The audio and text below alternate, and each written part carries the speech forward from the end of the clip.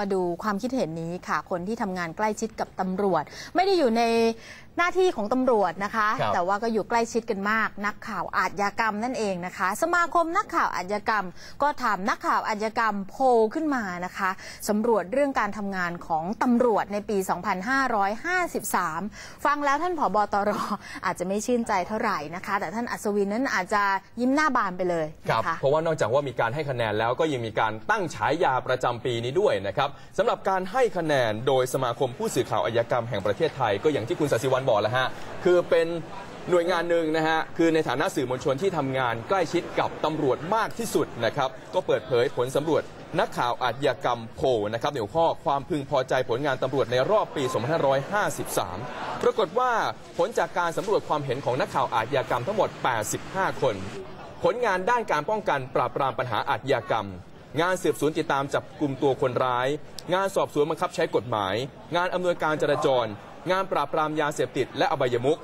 การปลอดจากการรับสวย ปลอดทุจริตคอร์รัปชันคือทั้งหมด 6 ด้านด้วยกัน เขาตีเป็นคะแนนนะครับ ให้ข้อละ 10 คะแนน จริง ๆ มีคะแนนรายละเอียดยิบย่อยมากกว่านี้นะครับ แต่เอาเป็นว่าภาพรวมๆ ทั้งหมด 6 ประเด็น 6 เรื่อง 60 คะแนนตำรวจได้ภาพรวมได้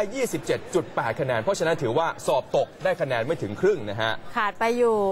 2.2 ก็จะถึงครึ่ง ก็จะถึงครึ่งนะครัคะบใน 6 ด้านได้เท่านี้นะคะฉายาตำรวจที่บอกว่าพลตำรวจเอกอัศวินคงจะยิ้มหน้าบานนะคะก็คือฉายาที่ได้รับจากสมาคม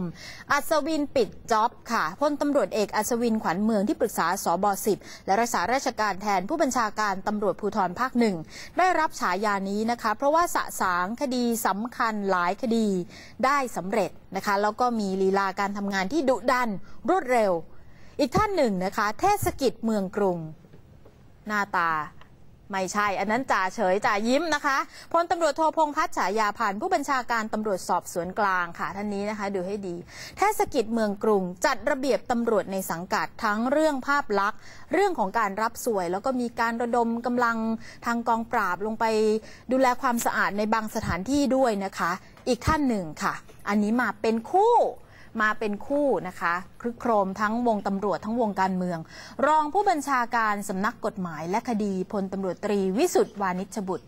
กับอีกท่านหนึ่ง นายสิริโชคโสภา เลขานุการส่วนตัวนายกรัฐมนตรีวอลเปเปอร์เนี่ยนะคะ ทั้งสองคนนี้ได้รับไปพร้อมกันฉายานี้ค่ะ